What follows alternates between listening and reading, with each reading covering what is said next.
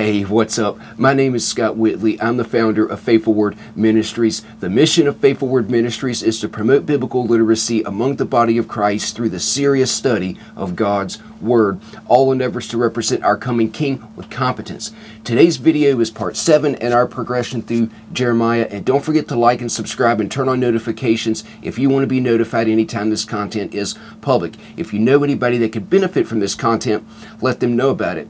If you would like to support Faithful Word Ministries financially, I'm going to put the donation information on one of the end cards at the end of the video. Thank you for taking time to watch these videos and engage. Beloved, remember, the more you know the written word, the better you can know the risen word. Try to have your Bible out and be following along in the text if you can. Today's video is going to cover chapter 13, verse 16 to chapter 15, verse 21. And beloved, of all the voices for you to listen to online, thank you for listening to mine. Now let's Bible.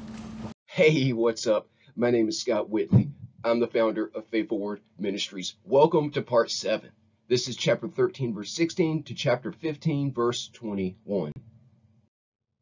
And these are the nine layers that we attempt to unpack so we can understand the context of what God's trying to communicate to us. This is the definition of those nine layers that we attempt to unpack so we can understand the context of what God's trying to communicate to us. And one of the best verses in scripture, this is this tells us the one thing in scripture that God puts above his own name, his word. Psalm 138 2 says, Thou hast magnified thy word above all thy name. God puts his word above his name. Beloved, the more you know the written word, the better you can know the risen word. That's what this type of study is all about, to facilitate intimacy with Jesus Christ. Two of my favorite verses in scripture. This is where God promised to preserve his word forever. Psalms 12, 6 and 7 says, The words of the Lord are pure words, as silver tried in a furnace of earth, purified seven times. Seven is the biblical number of completeness. God put seven days in a complete week. Thou shalt keep them. Them is the words of the Lord from verse 6. Thou shalt keep them, O Lord. Thou shalt preserve them from this generation forever. Beloved, this is where God promised to preserve his word forever. You can take great comfort in that. And this is where our story takes place in the kingdom of Judah. If you remember in the northern kingdom, also called the house of Israel, was taken into captivity and destroyed by the Assyrians in 722 BC. About 110 or so years later, the southern kingdom was taken into captivity uh, on the third and final siege of Nebuchadnezzar. So that's where our story takes place in the uh, kingdom of Judah, the southern kingdom. And then on the right, specifically, our story takes place in the city of Jerusalem. And then by way of review, keep in mind that Nebuchadnezzar laid three different sieges to Jerusalem. The first was in 605 BC. This was when Daniel and his three buddies were deported, Shadrach, Meshach, and Abednego, Daniel happens to write his book, Daniel, in Babylon, while he's in Babylon. The second siege of Nebuchadnezzar was from 598 to 597. Now, keep in mind that BC years are moving backward in time, okay? So from 598 to 597, this was the second siege of Nebuchadnezzar, second siege or deportation. This was when Ezekiel was deported to Babylon. And Babylon is where Ezekiel wrote his book, Ezekiel. So the third siege of Nebuchadnezzar was from 588 to 586 BC. Uh, Jeremiah was deported during the third siege, and our story occurs and is written during this period. And during this presentation, when you see the words NEB or NEBU, it's referring to Nebuchadnezzar. And also by way of review, the third siege is about 19 years after the first. These two 70-year periods are not collinear or coterminous. Uh, in other words, they don't have the same start and end date, but they do overlap. The first 70 year period was called the Servitude of the Nations. It began with the first siege of Nebuchadnezzar and it ended with the decree of Cyrus in 537 BC. The second 70 year period is called the Desolations of Jerusalem. This began with the third siege of Nebuchadnezzar and ended with the decree of Artaxerxes Longimanus on March 14th, 445 BC. This is the decree, the fourth decree from Artaxerxes Longimanus. This is the one that fulfills Daniel 9:25. Says, Know therefore and understand. Now, this is the angel Gabriel talking to Daniel. Know therefore and understand that from the going forth of the commandment to restore and build Jerusalem until the Messiah the Prince, or the triumphal entry, shall be seven weeks and three score and two weeks. The street shall be built again, even and the wall, even in troublous times. So two very important words in hermeneutics and in scripture. Okay, from and unto. So God's making a distinction here from this to this. Okay, from the commandment to restore and build Jerusalem to the Messiah, the Prince, which is the triumphal entry. This works out to 173,880 days. That's exactly 483 years with no days left over on a 360 day calendar. Okay, God has a margin of error of goose egg. And then Jeremiah prophesied during the reign of all these kings Josiah, Jehoahaz, Jehoiakim, formerly Eliakim, then Jehoiakim's son Jehoiachin. This is the one that God places the blood curse on in chapter 22, verse 30. And then Zedekiah. Ezekiel begins his uh, ministry as a prophet during the reign of Jehoiakim, and then he prophesies uh, even until after the fall of Jerusalem. Chapter 13, verse 15. This is the verse we left off on last time. Hear ye and give ear, be not proud, for the Lord hath spoken.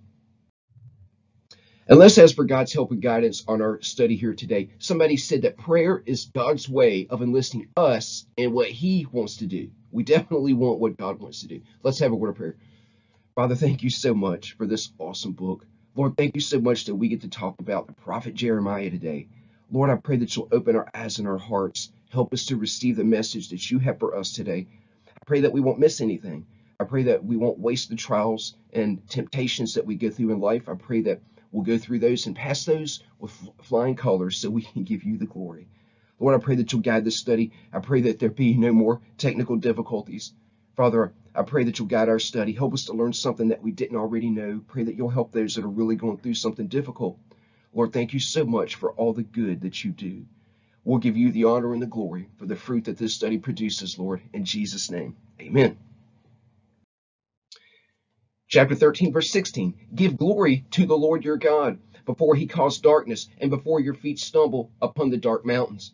And while you look for light, he turn it into the shadow of death and make it gross darkness. So there's three kinds of darkness. The first kind of darkness is called natural darkness. That's the darkness of an unregenerate heart. Paul said in Ephesians 4, 17 and 18 that in our natural state, we are in darkness. Okay.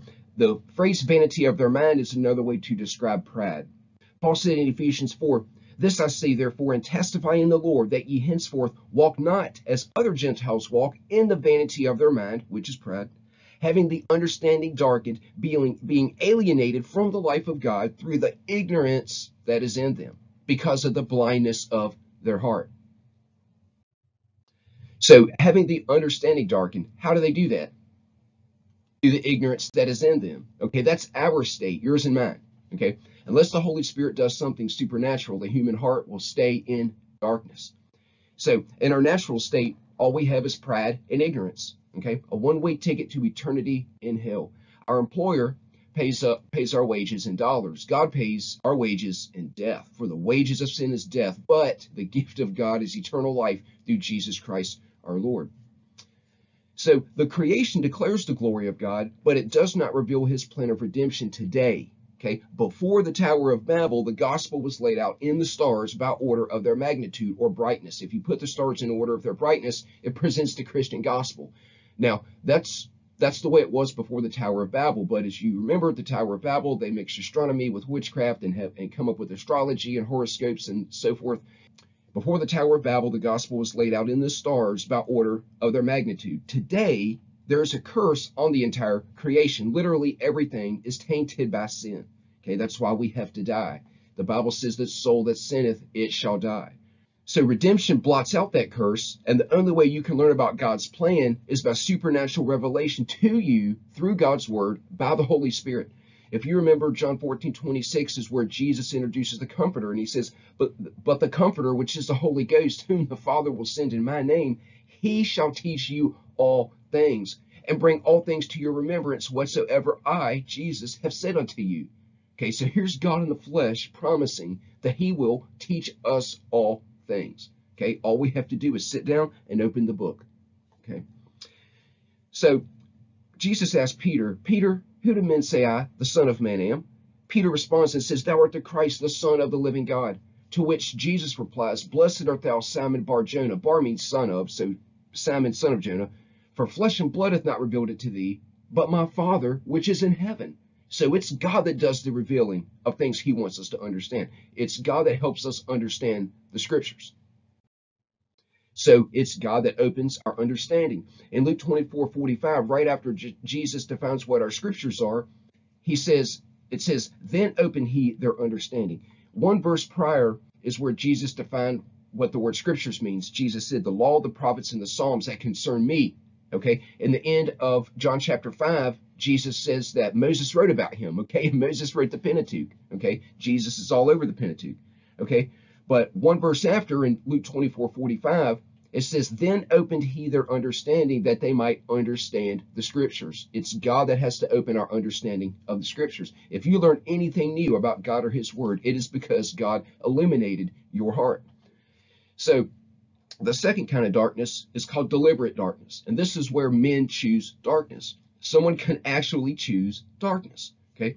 People choose to accept or reject Jesus. John 3:36 says, He who hath the Son hath life, but he who hath not the Son hath not life, but the wrath of God abideth on him. If somebody has not yet placed their faith in Jesus, God's wrath is resting on them until they place their faith in Jesus.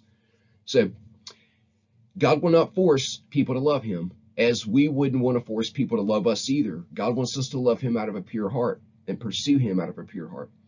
So it baffles me that people in the world will judge God by what biblically illiterate people that claim to be Christians do. Okay, that's wrong. We want to be judged by what we do and say, not what others do and say about us. Okay, we could spend hours leaving no stone unturned and chasing the evidence everywhere it goes, but we'll never finish Jeremiah. This is a pretty cool study. And by the way, I'm working on a topical project called Why I Believe the Bible and Everything in It. And this is every single evidence that God has showed me in my private uh, study and devotions since August of 2014. And it's exactly why I believe the Bible and everything in it. It's not written like a book. It's going to be a, a video on PowerPoint like I do my videos but this is going to leave no stone unturned. I'm going to include everything that I've learned, and I'm pulling stuff from numerous different studies, topical studies, and verse by verse studies that I've done similar to this. So it's going to be a bunch of stuff. So if you have people in your life that don't believe God's word or something in it, this would be a great resource for them when I get it done. But at this pace, I'm I'm so busy with work. I have a regular night job, and then I'm trying to make videos uh, in the in the morning. So please pray for me that I have time and that I don't have technical difficulties. Okay, please remember me in your prayers. So John 3:19 says that men loved darkness rather than light. Why is that? Why would men love darkness rather than light? Because their deeds are evil. People don't like accountability, especially some pastors. They have very little oversight, and that's one reason many drop like flies. Okay? They can do what they want mostly, and nobody's checking on them. Okay? So the word love here in John 3:19 is agape. There are three Greek words used in scripture for agape. There's probably more, but the three used are agape, phileo, and eros. Eros being the marital love. Okay. So men agape darkness rather than light. Why? Because their deeds are evil. So the noun agape means divine love, but the verb means the verb agape means to be totally given over to.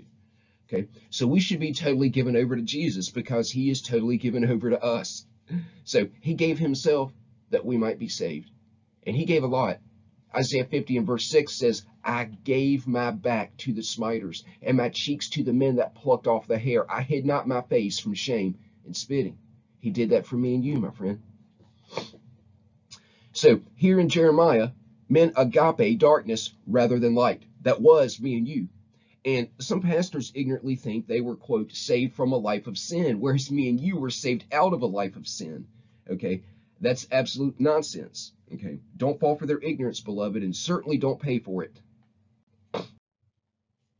They were not saved from a life of sin, but that's their mindset. Ecclesiastes 7.20 says there's not a just man upon the earth that doeth good and sinneth not. That includes pastors. Okay. Some of them have so much pride so in their pride, they reject what Romans says about man's nature. Watch out for this type of, quote, Christian pastor. Okay, some of them are very dangerous, extremely dangerous. Okay, so if you get into a conversation with an intellectual agnostic, he'll many times argue that there's no intelligent creator. So the issue is not intellectual, it's spiritual. Psalm 14:1 says, The fool hath said in his heart there is no God. it's obvious that if we can look in the sky and see this incredible creation, that there was a creator. There has to be. Okay. So why does the agnostic say that? Why does he say there's no God? Well, because a creator implies accountability. Okay. People don't want to be held accountable. Okay. That's why evolution is so popular. If there's no God, then we can live however we want. But if there is a God, we got to find out who he is and do what he says. Okay. So evolution is a mechanism that people think will allow them to hide, at least for a while, from accountability. So why do men love darkness? Because their deeds are evil. And it's interesting that people will believe in evolution for which there is no proof. Okay. But they won't believe in God because they want proof of his existence. But they'll believe in evolution with no existence or with no uh, proof of its existence. So people believe in evolution with absolutely no proof at all. Okay. Evolution is not science. Science is testable, observable, and repeatable. Okay. Who can test, observe, and repeat evolution? It can't be done. Okay. So why do we believe Abraham Lincoln existed? We believe Abraham Lincoln existed because of the eyewitness accounts and the written record. Okay, nobody challenges that. So why do we believe Jesus existed? we believe the eyewitness accounts and the written record. Okay, it's no different. In 1 John 5, 10 through 14, it says that if we don't believe the record, which is God's word, if we don't believe the written record that God gave up his son, then we're calling God a liar. So if someone doubts something in scripture, they have much bigger problems than understanding the Bible. How can someone trust Christ for salvation but call him a liar in something that he wrote? Listen to 1 John 1 1. That which was from the beginning, talking about pre incarnate Christ, which we have heard, which we have seen with our eyes, which we have looked upon, and our hands have handled the word of life. The word, as you know, is Jesus, obviously. Okay, but these are eyewitness accounts. This isn't something that's passed down from generation to generation. We have eyewitness accounts. This is the reason we believe Abraham Lincoln existed. I've never laid eyes on Abraham Lincoln. I've never laid eyes on California for that matter, but I believe it exists. So I believe the written record and the eyewitness accounts from other from other people. Exodus 20:11 and 31:17 have a very similar message. It says, "For in 6 days the Lord made heaven and earth and the sea and all that in them is, and rested the seventh day. Wherefore the Lord blessed the Sabbath day and hallowed it." 31:17 says, "It is a sign between me and the children of Israel forever. For in 6 days the Lord made heaven and earth." And on the seventh day he rested and was refreshed. For in six days the Lord made heaven, the heaven and the earth, the sea, and all that in them is, straight out of God's mouth. So day, the word day used in the above two verses is talking about a 24 hour day, a literal 24 hour day. So the word day, when talking about the day of the Lord, is a very long period of time, okay, well over a thousand years. So can a thousand years or more be tucked away into six days? Personally, I don't think so. But I want you to come to your own conclusions, like the Bereans did. Uh, in Acts 17:11 says the Bereans were more noble than those in Thessalonica in that they received the word with all readiness of mind, but they searched the scriptures daily whether those things were so. They didn't just take somebody's word for it because it looks right and sounds good. They went behind who was teaching them and studied for themselves and came to their own conclusions. Very smart scholars are on both sides, are for and against gap theory. Okay, Personally, I don't believe in that. I do believe in the literal six-day creation, but you come to your own conclusions. So the third type of darkness, we've had natural darkness, deliberate darkness, where men choose darkness, and thirdly, judicial darkness. That's what we've got here in Jeremiah 13. Also in 2 Thessalonians 2, where God will send them a strong delusion that they should believe a lie.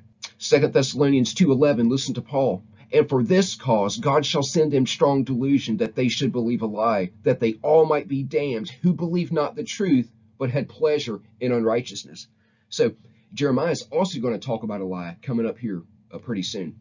So the three types of darkness, natural darkness, deliberate darkness, and judicial darkness. So God is going to cause darkness? Yes, absolutely. So what caused Lucifer's sin in the first place? What caused him to sin? Or what was his sin? Pride. Lucifer sinned without being provoked.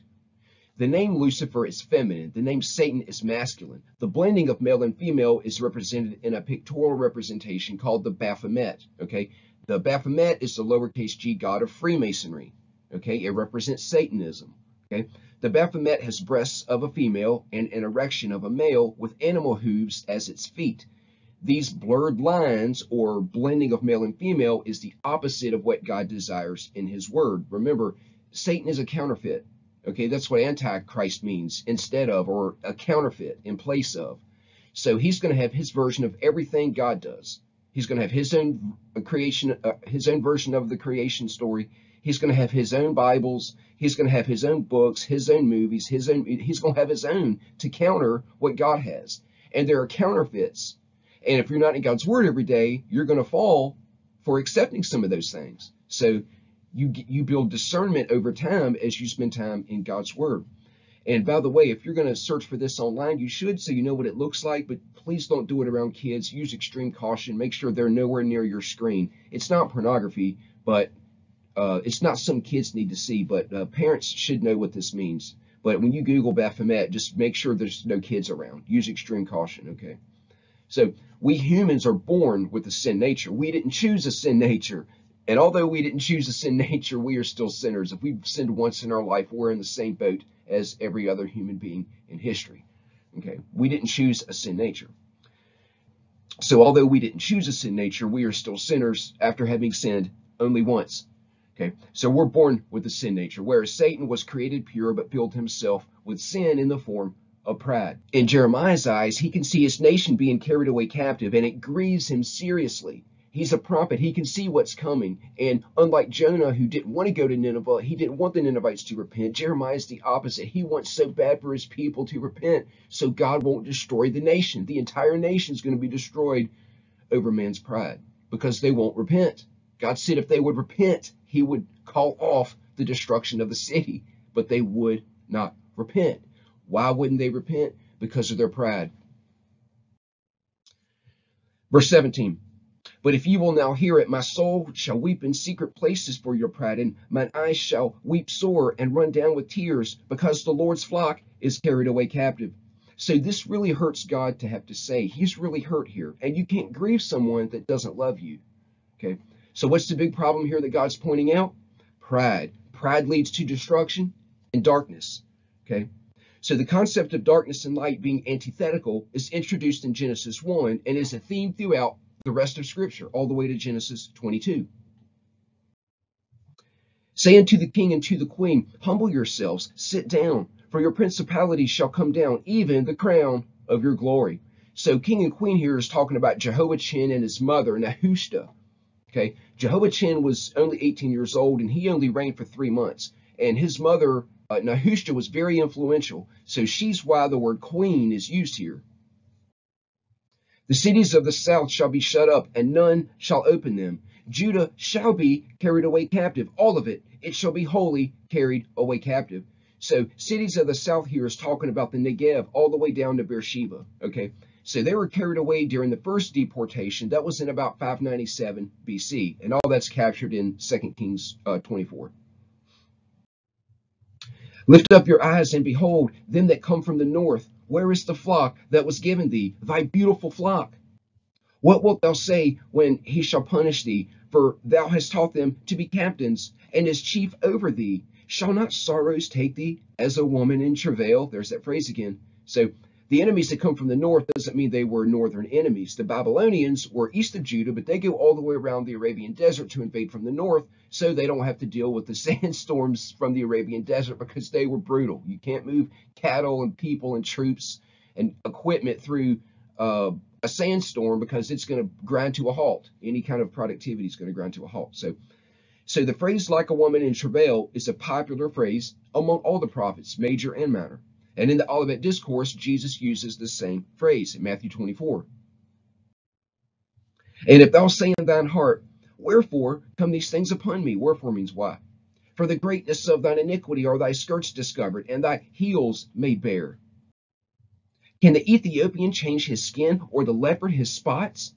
Then may ye also do good that are accustomed to do evil. Can the Ethiopian change his skin, or the leopard his spots? Okay, this is pretty disdainful. So he's basically saying you are so corrupt, so committed to doing evil, that your chances of doing good is equivalent to a leopard changing his spots. And we are no better Beloved, it's by God's grace that we are what we are. If it weren't for God, we too would be in the gutter spiritually. Therefore will I scatter them as the stubble that passes the way by the wind of the wilderness. This is thy lot, the portion of thy measures from me, saith the Lord, because thou hast forgotten me and trusted in falsehood. Therefore will I discover thy skirts upon thy face, that thy shame may appear.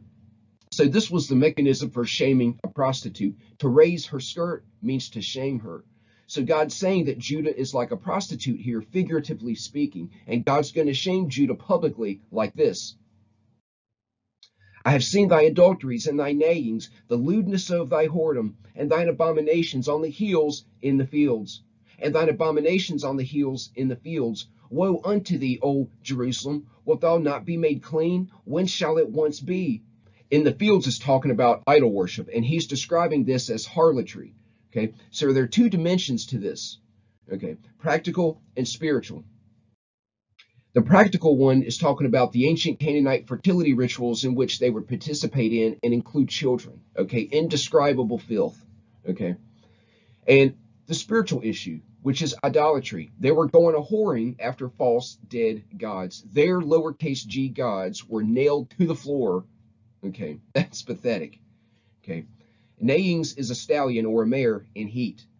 So what makes Judah's sin so bad is that they're all having sex with each other publicly. God already said to never even look at someone else's nakedness unless it's your spouse's, and then that's encouraged. Okay, but anybody other than your spouse, it's clearly forbidden to even look at their nakedness, let alone then be doing something naked. Okay, and by the way, sex inside of marriage is not sinful or sin. Okay, sex is a picture of the cross. Paul said in Romans 5 8 that he said, But God commendeth or demonstrated his love toward us in that while we were yet sinners, Christ died for us. So God demonstrated his love for me and you with what? With his body. Okay, how does a married husband and wife demonstrate their love towards each other? With their bodies. So the agony of Jeremiah is that he's torn between the certainty of their judgment and the hope that they'll repent. If they'll just listen and repent, Jeremiah says, so it's hard to imagine the anguish in Jeremiah's spirit. He's a prophet. He's God's already shown him what's going to happen to this to Judah. It's going to be destroyed, and he's trying to tell the people what God said, but nobody will listen. He's like a broken record. So Judah's facing the mightiest army army army. Judah is facing the mightiest army on earth. And what do they need in order to defeat the Babylonians? More horses, more troops, more equipment. They need God. They need to repent. And this is a real danger for us too today, beloved, to depend on other things, money, uh, income, rental properties, whatever the case may be, and not have our trust in God. So they needed God and we need him too. Chapter 14.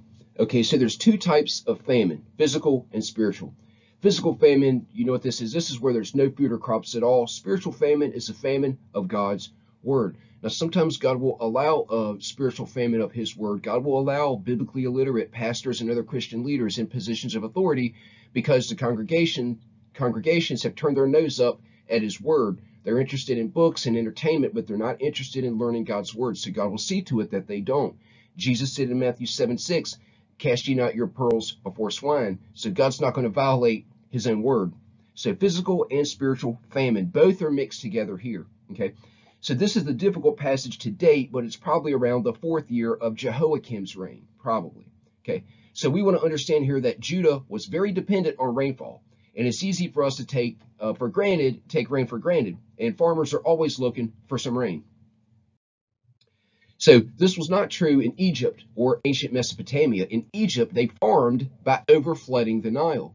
Okay, so they had a river, and that's one reason they were so prosperous. They dug channels to make the water go wherever they wanted. It was very reliable. Okay, Mesopotamia is also known as the Fertile Crescent, and it had two rivers. Okay, the Tigris and the Euphrates. So Judah was very dependent on rainfall, and there had been a lot of droughts there in the past. So droughts played a major role in the happenings in ancient times. So droughts are used to threaten for disobedience in Deuteronomy 28. So Israel was used to the idea that rainfall or the absence of it was God's way of rewarding or punishing them. So that wasn't some superstition. That's exactly what God told them he would do in Deuteronomy 28. The word of the Lord that came into Jeremiah concerning the dearth. Judah mourneth, and the gates thereof languisheth. They are black unto the ground, and the cry of Jerusalem is gone up. And their nobles have sent their little ones to the waters. They came to the pits and found no water. They returned with their vessels empty. They were ashamed and confounded and covered their heads. And cisterns were large reservoirs designed to capture rainwater, so the precious little bit of rainwater they got would be captured. These cisterns were empty because they had had no rain at all. Because the ground is chapped, for there was no rain in the earth. The plowmen were ashamed, they covered their heads. Yea, the hind also calved in the field and forsook it, because there was no grass.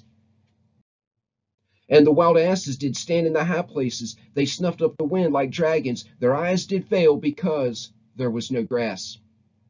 O Lord, though our iniquities testify against us, do thou it for thy name's sake. For our backslidings are many, and we have sinned against thee. We can feel some of Jeremiah's anguish here. And Jeremiah really praises God here in this verse and in the next one. Oh, the hope of Israel, the Savior thereof in times of trouble.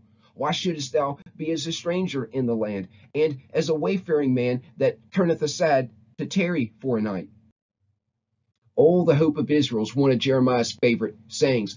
Uh, as a matter of fact, Israel's national anthem is called Hatikva, or the hope. Okay, and Paul uses the same phrase in Acts, Colossians, and in his first letter to Timothy. And this is the same idea that Joshua had when he said to God, The Egyptians will hear about this, you know, you're supposed to take care of us because the whole world is watching. Okay, the Egyptians will hear about this, is the flavor of what Jeremiah is communicating to God. So what Joshua did is hinted at in the title, Oh, the hope of Israel. Do thou it for thy name's sake. Okay, so Jeremiah is reminding God that he is the Savior in times of trouble. Why shouldest thou be as a man astonished, as a mighty man that cannot save? Yet thou, Lord, art in the midst of us, and we are called by thy name. Leave us not. Hey, you're identified with us, good or bad. We are yours. This is your land, and we are your people, is the flavor here. Thus saith the Lord unto this people Thus have they loved to wander. They have not refrained their feet. Therefore, the Lord does not accept them. He will now remember their iniquity and visit their sins. So this is God's response for the third time. Then said the Lord unto me, Pray not for this people, for their good. When they fast, I will not hear their cry. And when they offer burnt offering and an oblation, oblation means worship, I will not accept them, but I will consume them by the sword and by the famine and by the pestilence. So by the sword, famine, and the pestilence. So these three things are linked together here in Jeremiah seven different times. Then said I, Oh, Lord God, behold, the prophets say unto them, Ye shall not see the sword, neither shall ye have famine, but I will give you assured peace in this place. So Jeremiah is telling them that their false prophets are lying to them. Okay, even though they're God's chosen people, they are still going to be judged. And speaking of judgment, Listen to Peter, 1 Peter chapter 4. For the time has come that judgment must begin at the house of God. Judgment must begin at the house of God. Then said the Lord unto me, The prophets prophesy lies in my name. I sent them not, neither have I commanded them, neither spake unto them. They prophesy unto you a false vision and divination. Divination is witchcraft. Okay. And a thing of naught, and the deceit of their heart. So divination was a death penalty crime back then. So Judah had fallen so far from God. They told him that they would keep his law. He didn't impose that or force that on them. They said, yeah, we can keep that. But they couldn't, and we can't either. Therefore, thus saith the Lord concerning the prophets that prophesy in my name, and I sent them not. Yet they say, Sword and famine shall not be in this land. By sword and famine shall those prophets be consumed. And the people to whom they prophesy shall be cast out in the streets of Jerusalem because of the famine and the sword. And they shall have none to bury them, them, their wives, nor their sons, nor their daughters. For I will pour the wickedness, uh, pour their wickedness upon them. So the people of Judah were very complacent. Okay, and that's a danger for me and you to just get complacent and go through the motions. So we want our heart to be hot before the Lord. And being in God's Word in a serious study like this is a great way to facilitate intimacy, to keep your heart warm and, and, and hot for the Lord. So Jeremiah was trying to wake them up and get them to realize what was getting ready to happen to them if they didn't repent. They were going to be destroyed. Complacency was sold to them by the false prophets. Okay? And there are false prophets today everywhere. Just look at TV and internet. Goodness, they're everywhere. It's interesting that the first prophecy in Scripture surfaces during a time of failure, okay, when Adam and Eve failed, okay. And this was the first prophecy of the Messiah. And it's interesting that God sends prophets during times of trouble. And we can get complacent in times of prosperity. So prophecy is never popular to the world. Listen to what Paul tells Timothy in his second letter. The time will come when they will not endure sound doctrine, and they shall be turned unto fables. And by the way, Jewish fables are forbidden by Paul. And some churches pass around books about a circle, and it's nonsense because Paul clearly says in Titus and 1st and 2nd Timothy to avoid Jewish fables. People have no business studying Jewish fables when they're still biblically illiterate. We're commanded to be ambassadors for Christ, and we should be able to represent him competently from God's word. Okay, especially people that have been in church a really long time. Okay. Peter continues, knowing this first, that there shall come in the last days scoffers walking after their own lusts, and saying, Where is the promise of his coming? For since the fathers fell asleep, all things continue as they were since the beginning of creation. So it's not obvious here, but this verse exposes evolution. Okay? They believe things that have been have always been the same. Okay, that's evolution. They're saying it's uniformitarianism. Okay, so what's interesting is that this verse links for us the concepts of creation and the second coming of Christ. Okay, what does creation and the second coming of Christ have to do with each other? Okay, if you want to master Genesis, you have to master Revelation and vice versa. Okay, so both have the same hypothesis. Okay, creation and the second coming of Christ, that God intervenes in the affairs of man's life. Okay, God intervened to create it in the first place, and he's going to intervene again to wrap it all up. Okay, the first time the flood, the judgment came by a flood. The second time, judgment's going to come by fire. So both concepts, the second coming of Christ and creation, are linked together here in 2 Peter 3 4. The verse we just read about the promise of his coming and the beginning of the creation.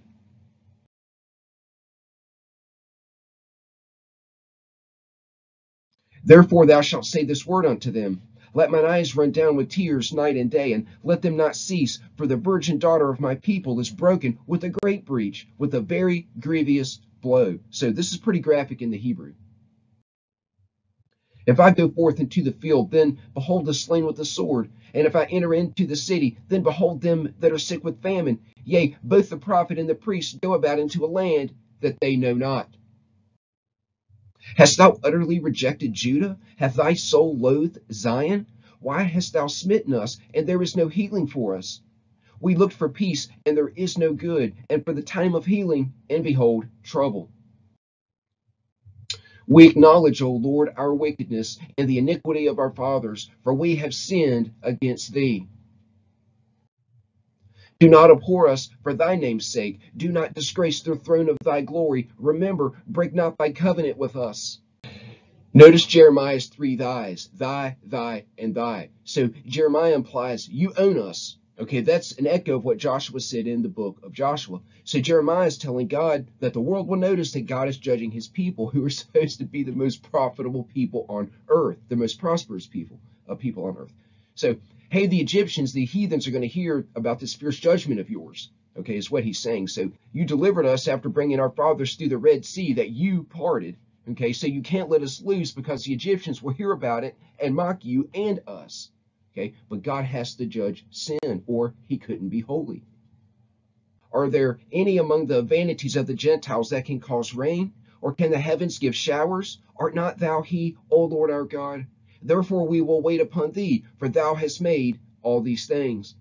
Remember Exodus 20:11 and 31:17 it says for in 6 days the Lord made heaven and the earth the sea and all that in them is for in 6 days. And remember that 1 John 5, 10 through 14 says that if we don't believe the record that God gave of his son, then we're calling God a liar. Titus 1, 2 says, in hope of eternal life in which God that cannot lie promised before the world began. So God can't lie. Chapter 15. So there's a lot of references here in chapter 15 to events that occur in Revelation. One of my favorite verses is in chapter 15. It says, Thy words were found, and I did eat them. Jeremiah 15, 16. So Jeremiah's message is from deep anguish of heart and very deep loneliness, but absolute dependence upon the God of their relationship. Jeremiah is all about his relationship all throughout this book. Okay. So the southern kingdom saw what happened to the northern kingdom, and they should have known that God was going to be just as diligent as he was in judgment with the northern kingdom. So, two different things to think about here the historical message and a personal message. The historical message was that God is going to judge Judah, this southern kingdom, just like he judged Israel, the northern kingdom. Okay? The personal message is that the words God speaks to Jeremiah for Judah apply to you and me today. So there's a real danger for us too to let things in our life become idols. We want to make sure that our focus and attention is on Christ. So you and I might not be burning incense to a 40 foot owl in our backyard, but we can still have an idol in our life. It could be work or money or a person or anything else we set our heart on instead of God. Idolatry is substituting anything in our lives for God, putting something in his place. Just as Jeremiah grieved because he had to preside over the death of his nation, we too may be in the same boat. So we may be even more guilty because the United States has had the benefit of seeing what happened to the northern and the southern kingdom and all the other nations that God has judged in, in Scripture. If you remember, God allows a nation's enemies to defeat them because they get away from him. God allowed the northern kingdom's enemies to defeat them. The Assyrians defeated the, uh, the northern kingdom in 722. Then God judged the Assyrians that he used to defeat the northern kingdom.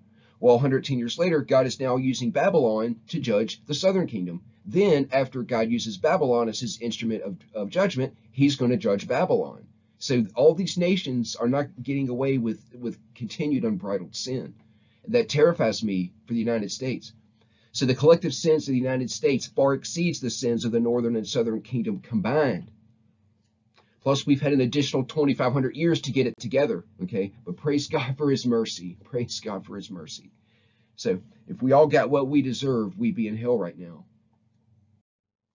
Then said the Lord unto me, Though Moses and Samuel stood before me, yet my mind could not be toward this people. Cast them out of my sight and let them go forth.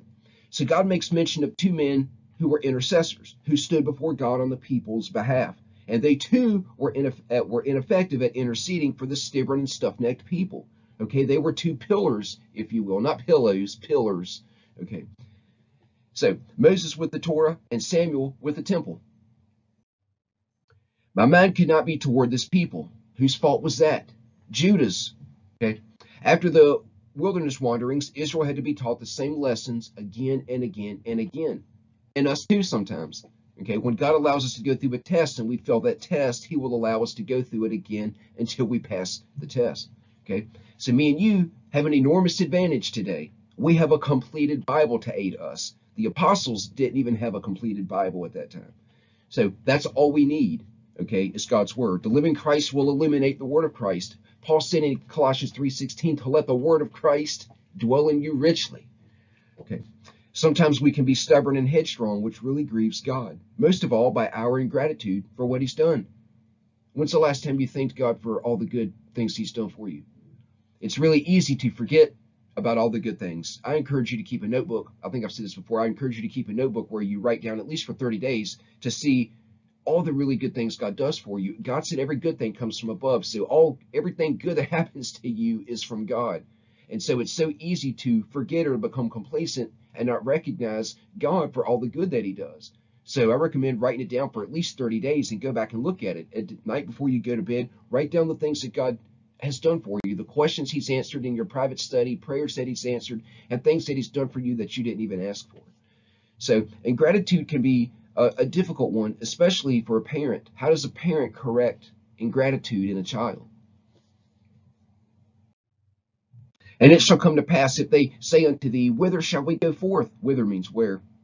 Then thou shalt tell them, Thus saith the Lord, such as are for death to death, and such as are for the sword to the sword, and such as are for the famine to the famine, and such as are for the captivity to the captivity. Such as are for death to death, and sword and famine and captivity. There's a similar statement in Revelation 22:11. Jesus said, "Let him who was unjust be unjust still. Let him who is filthy be filthy still." In other words, if you want to go to hell, go to hell. Okay? If you want to reject Jesus, reject Jesus. Okay? Jesus is the one that said this.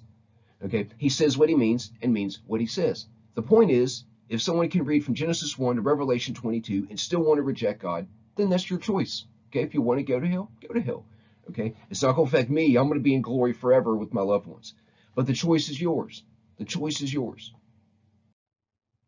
And I will appoint over them four kinds, saith the Lord, the sword to slay, and the dogs to tear, and the fowls of the heaven, and the beasts of the earth to devour and to destroy. So there's four things appointed by God for Judah's destruction. The sword to slay, the dogs to tear, the fowls of the air, and the beasts of the earth.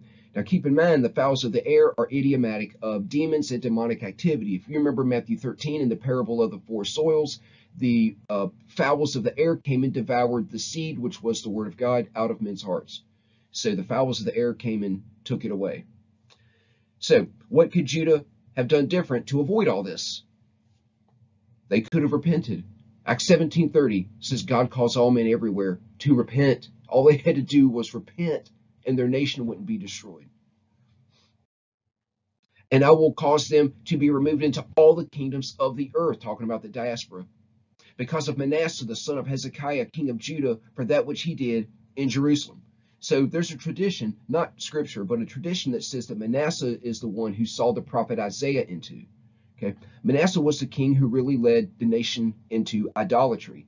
Okay, his introduction of idolatry into Israel is what led to all this judgment. Okay, that's where it started. For who shall have pity upon thee, O Jerusalem? Or who shall bemoan thee? Or who shall go aside to ask how thou doest? Thou hast forsaken me, saith the Lord. Thou art gone backward. Therefore will I stretch out my hand against thee and destroy thee. I am weary with repentance. So repenting means to change your mind. Moses and Amos asked God to change his mind, and he did. Okay, he did because he didn't swear an oath not to, like he did at other times. Here with Judah, God's already uh, sworn oath that he's going to carry out what he said if they don't repent. And I will fan them with the fan in the gates of the land, and I will bereave them of children. I will destroy my people, since they return not from their ways. Their widows are increased to me above the sand of the seas. I have brought upon them and against the mother of the young men a spoiler at noonday. I have caused him to fall upon it suddenly and terrors upon the city. So widows are increased to me above the sand of the seas. That's a lot of widows. Okay. And there are more widows than there are sand in the seashore. Okay. Now we do take this literally here. So we also have to understand the Jewishness of this Old Testament passage. Okay the book of Revelation is incredibly Jewish. John looks up, identifies, and credentials Jesus in, the, in John's gospel as the Lamb of God, which taketh away the sin of the world. The Lamb of God, the one that was used for the Passover, that couldn't have a bone broken, that had to be uh, without blemish and without spot. Okay, that's incredibly Jewish. The feasts, the nomenclature in the feasts, and all the activities and, and rituals around those feasts, okay, that's extremely Jewish. Genesis is very Jewish, Revelation is very Jewish, and everything in between. Okay, so it's literal, but in a generic sense. So there's a concept in Judaism that teaches that if you kill a man, then you have destroyed a nation. Because if you kill a man's son, you have eliminated his offspring. By killing one man, you have destroyed all of his descendants. For example, if there was no man named Judah, there would be no Ur, Onan, and Shelah, Pharez, and Zerah. Ur, Onan, and Shelah, and, and uh, Shelah were Judah's three sons. Later, through harlotry, through his daughter-in-law, he has Pharez and Zerah. Okay, but Judah was part of the messianic line. He was part of the royal male Davidic messianic line. Also, if Joseph would have retaliated in Genesis 42 through 44 against his brothers that sold him into slavery by having them killed, there would have been no lion of the tribe of Judah. When Joseph's brothers sold him into slavery, he ends up getting picked up by the Amalekite um, caravan uh, traders. They go to Egypt and sell them into, into slavery in Egypt. Well, Joseph rises to power in the most powerful nation on earth. Egypt ruled the world at that time, and Pharaoh traveled at that time. So Joseph literally went from the prison to the palace overnight. Now he's in charge of the nation because Pharaoh was out traveling. He's the vice Pharaoh. And it's incredible that when Joseph comes to power, he doesn't order his brothers executed when they come to get food. He not only forgives them, but it says that he gives them uh, the best of land, the best animals, the best of everything. And the scripture says that he spoke kindly unto them and said, Don't worry, I'm not going to take vengeance. Vengeance belongs to God, which is an incredible attitude to have. But Joseph showed mercy. Okay, Joseph showed mercy and didn't have Judah killed when he could have. But had Judah been killed, there would have been no Messiah from the line of Judah. Scripture says in Genesis 49:10 that the Messiah is going to come from the tribe of Judah. The lion of the tribe of Judah came from Judah, the son of Jacob.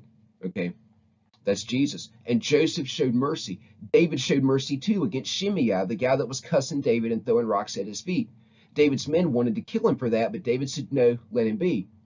Well, a descendant of Shimei, the guy David could have killed but didn't, the guy that David showed mercy to, a descendant of this man, Shimei, is a man by the name of Mordecai, who in the book of Esther counsels Esther to save her entire Jewish race. Okay, Mordecai adopted Esther when both of her parents died when she was young. One woman risked her life to save the entire Jewish race. One woman. So they are alive today because of what God did through her. She that hath borne seven languisheth. She hath given up the ghost. Her son is gone down while it was yet day. She hath been ashamed and confounded, and the residue of them will I deliver to the sword before their enemies, saith the Lord.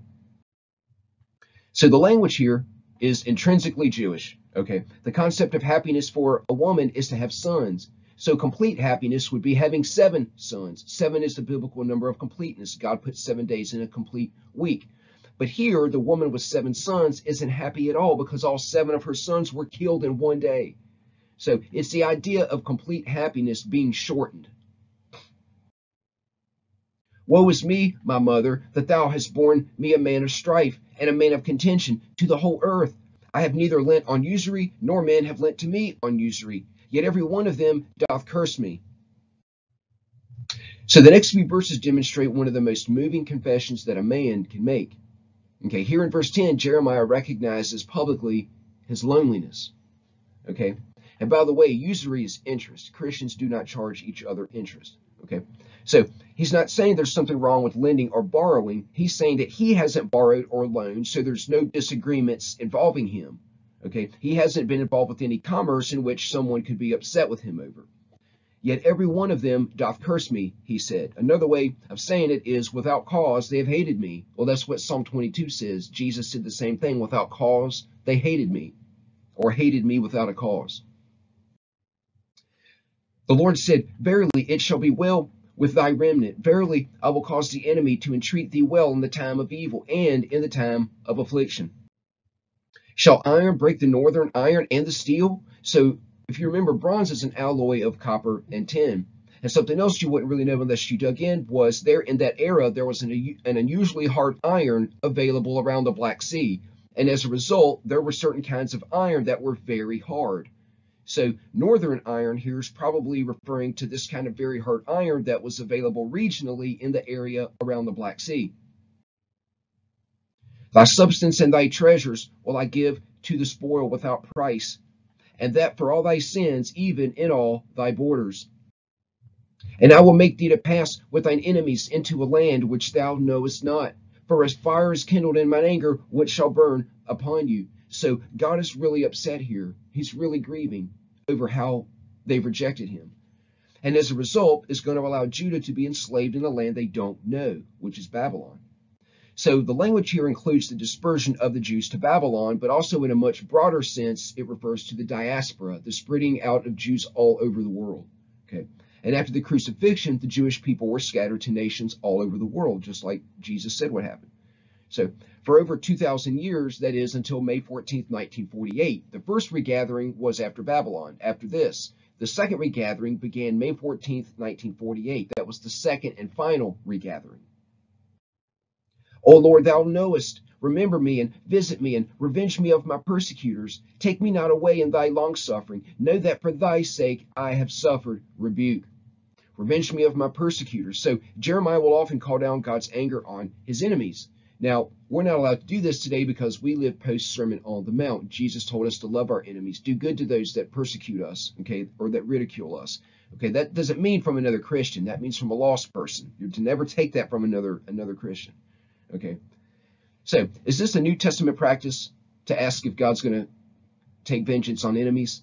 It actually is, but it's for God to do, not us. Okay, if you remember the beheaded souls of those who were under the altar in heaven, okay, after the fifth seal, they asked God, How long do you avenge our blood? Okay, but it's God that avenges blood, not us. God takes God said, I'll I'll take vengeance. It's up to God to take vengeance, not us. So the concept of being in line or agreeing with God's righteous indignation is not unbiblical. Okay, but the Bible tells us clearly to not rejoice when our enemy falls, lest it displease the Lord and he withdraw his anger from them. So the imprecatory Psalms call for retribution against David's enemies. Now we're not allowed to pray that, like I said, because we live post Sermon on the Mount. Thy words were found, and I did eat them, and thy word was unto me the joy and rejoicing of mine heart. For I am called by thy name, O Lord, God of hosts. What an awesome verse. Thy words were found, and I did eat them. So there's a lot here. So, what made an Old Testament sacrifice clean or not? It had to be an animal that chewed the cud. So Romans 12:2 says that we are to be living sacrifices. We have to die, but not physically, okay? Only spiritually. So we are to be living sacrifices that chew the cud. The cud is God's word. So Ezekiel 2 8 through 3 3 is a similar passage. Here, God tells Ezekiel to eat and digest God's word, and sometimes we even digest a lesson. Okay? In, Re in Revelation 5 1, we see a scroll sealed with seven seals written within and without. Or Revelation 10 9 is where the angel tells John to, quote, take it and eat it up. Okay, and Revelation is incredibly Jewish. It's everything in it's Jewish. So to understand Revelation well, we need to understand our Old Testament well too. And the New Testament writers take for granted that we understand our Old Testament well. Okay, that's why they use uh, the the Old Testament idioms in the book of Revelation. Jeremiah uses some too. So we are commanded to commanded to diligently search the scriptures. Jesus said in John 5 39, search the scriptures, for in them you think you have eternal life, and they are they which testify of me. And you remember Acts 17 11 talking about the Bereans being more noble than those in Thessalonica in that they received the word with all readiness of mind and searched the scriptures daily whether those things were so. So a clean Christian is one that studies his or her Bible and does what it says. Christians are to be clean living sacrifices. So one of the reasons I'm so enthusiastic about God's word is because of the overwhelming evidence of deliberate design, okay? An integrated whole, a singular message system. And thank you, Dr. Missler, for pointing that out and for pointing everything else out. So the first 65 books come together in Revelation, the final and 66th book. So when we read Jeremiah and come across these phrases, we're conscious of the fact that these phrases are peppered all throughout the Bible. Okay, this is proof of a single author. Okay, he's responsible for bringing, God is responsible for bringing over 40 men over thousands of years from geographic areas far removed all together to put his word onto paper. Okay, God promised to preserve his word forever in Psalm 12, 6 and 7. Thy word was unto me the joy and rejoicing of my heart. Why? For I am called by thy name, O Lord, God of hosts. So this is one of many verses that links God's word with his name. And the one thing in scripture that God puts above his own name, his word. Remember Psalm 138, 2, thou hast magnified thy word above all thy name. So God puts his word above his name. And God's word was sweet to Jeremiah's mouth. So even though Jeremiah was personally rejected publicly, he never wavered in his commitment to God's word. He was faithful, diligent, and he delighted in God's word. How about you? Are you delighting in God's word? God's word was sweet to Jeremiah's mouth, but bitter to his belly, so bitter that it made him weep. So Jeremiah and Ezekiel's experience is no different than John's experience in Revelation 10. And there's a sweetness to it, but as you digest it, it gets bitter. Jeremiah, on the one hand, was privileged to be on a face to face basis where he was God's messenger to his nation. That was a privilege and something Jeremiah really cherished, despite the fact that his particular message was extremely bitter for him to deal with.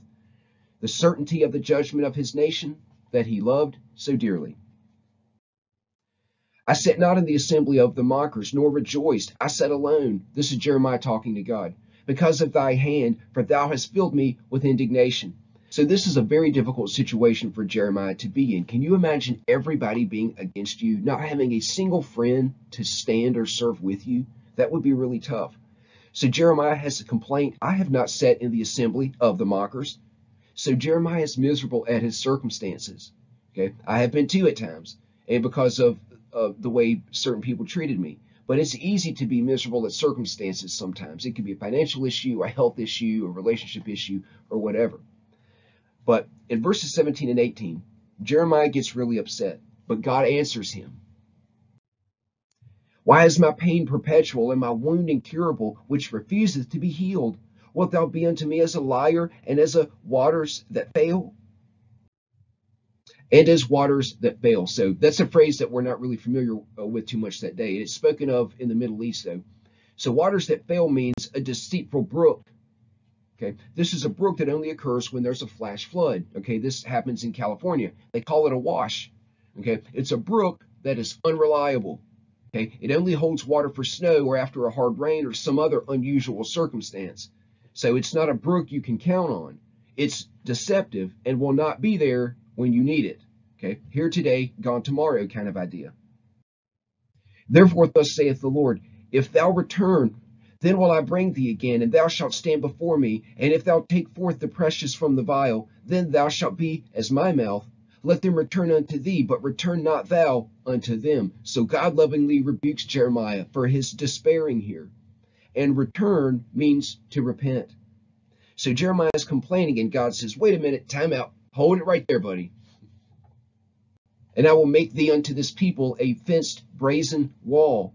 And they shall fight against thee, but they shall not prevail against thee. For I am with thee to save thee and to deliver thee, saith the Lord. So God says to Jeremiah, if you'll shape up and trust me, I will make thee a fenced brazen wall, and your enemies will not prevail against you. And I will deliver thee out of the hand of the wicked, and I will redeem thee out of the hand of the terrible. So God told Jeremiah that he will be attacked, but God said, I, For I am with thee to save thee, and to deliver thee, saith the Lord. In essence, God tells Jeremiah, Don't waste your time on foolish statements. Let's get on with it. There's work to do.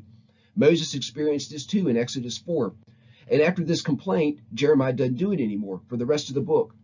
And some scholars consider this a reconditioning of sorts of Jeremiah. He never again gets the woe is me's.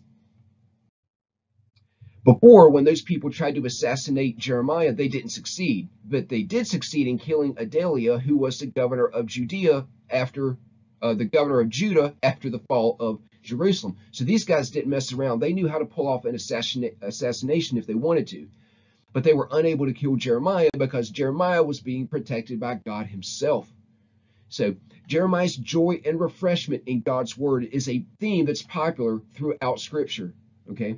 Remember Psalm 119, the Psalm of the laver? Okay. Now we have to wash daily in God's word. Laver is what the Old Testament priests washed in to get clean in the tabernacle. Okay, 172 out of 176 verses in Psalm 119 refer to God's word directly. Okay, Psalm 119 is about how you, how you should eat it, digest it, and refresh yourself in it. And remember, the laver was an Old Testament instrument in the tabernacle. So if you really study the temple, you can't help but be fascinated by all the dimensions and materials and procedures to build it. And God laid out his specifications precisely, except there was one dimension that God left out, that he omitted. Okay, there's no dimension for the laver. Okay, and that's deliberate because there's no limit to the washing of God's word that we are to do daily. That's why there's no dimension for the laver. Everything else has a dimension and a tolerance and a specification to be built to. But the laver has no such dimension. Okay, because there's no limit of the washing of God's word that we are to do daily. That's pretty awesome. So the Old Testament priest washed in the laver. And you and I are washed judiciously in the blood of Jesus once and for all when we placed our faith in Jesus. And sanctification is where we wash in God's word every day. So we're to wash ourselves in the word daily by studying the word and doing what it says. Paul said in, Ephesians 4 4, by the washing of the water of the word. Okay, washing of the water by the word. So this concept is present all throughout Scripture. Okay. What's interesting is that in Revelation, the phrase that is translated molten sea has the same meaning in the Old Testament. So it means brass laver. Molten means bronze, and sea means laver, or the washing bowl. In Revelation 1 4, when the saints are standing around the throne with the 24 elders, they take their crowns and lay them down on the glassy sea. So that which you're washing in while you're on earth is that which you're standing on before the throne. Okay, so we're definitely dealing with a pun here. The Holy Spirit uses the Word of God as a pun sometimes. If you remember Hosea 12:10, God said, I have multiplied visions, I've spoken to the prophets, multiplied visions, and used the similitude by the ministry of the prophets. A similitude is a rhetorical device. It's a simile, a pun, a metaphor, a type, foreshadowing, an analogy, uh, and so on. So the Holy Spirit uses God's word as a pun sometimes. We wash in it here, we'll stand on it there. Okay, that's pretty awesome. And just like the old hymn says, standing on the promises, standing on the promises of Christ my King, through the eternal ages, let his praises ring. Glory to the highest, I will shout and sing, standing on the promises of God. How awesome. What an awesome song. So you and I need to be washing every day that we are alive in God's word. And don't confuse being washed in Jesus' blood once and for all, that's our justification, with being washed daily in God's word, which is our sanctification. So justification saves us from the penalty of sin, that's eternity in hell. Sanctification saves us from the power of sin, like addiction or biblical literacy and so on. And glorification saves us from the presence of sin. That's when we'll live forever in heaven with Jesus. And beloved, we're going to leave it here for today. Thank you so much for taking uh, your time to engage with me here in this video. Please remember, be in your prayers. I love you, and we'll see you in the next video.